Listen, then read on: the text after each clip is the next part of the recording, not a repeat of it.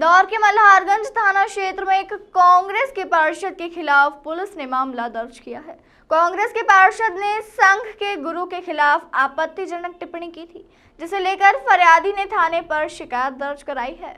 मामला मल्लारगढ़ थाना क्षेत्र का है। यहाँ रहने वाले राजपाल जोशी, जो कि संघ से जुड़े हुए हैं, उन्होंने थाने पहुंचकर शिकायत दर्ज कराई थी कि कांग्रेस पार्षद द्वारा व्हाट्सएप स्टेटस पर संघ के गुरु गोवालकर जी के खिलाफ आपत्तिजनक टीका टिप्पणी व्हाट्सएप स्टेटस के माध्यम से की जा रही है, जिससे संघ के लोगों की भावनाएँ काफ़ी आहत हो रही है। फरियादी की शिकायत पर पुलिस ने कांग्रेस के पार्षद के खिलाफ मामला दर्ज कर लिया है। वही पूरे मामले की जाँच की जा रही है। कल राजपाल जोशी जो हैं, जो कि संघ से जुड़े हुए हैं, उनके द्वारा एक आवेदन पत्र प्रस्तुत किया गया था, जिसमें जो पार्षद मैसूरी हैं सदर क्षेत्र के, उनके द्वारा अपने व्हाट्सअप स्टेटस पर जो संघ के जो पुराने जो गुरु रहे हैं, गोलकर जी, उनके बारे में कुछ टीका टिप्पणी की गई थी।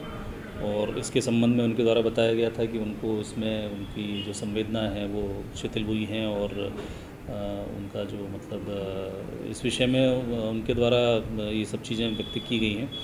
और जो टिप्पणी जो उनके द्वारा की गई है, उससे संघ के सभी लोगों की भावनाएँ आहत हुई हैं। इसी दृष्टिकोण को रखते हुए जो उनके आवेदन पर इसमें उनके विरुद्ध अपराध पंजीबद्ध किया गया है, जो कि विवेचनाधीन है।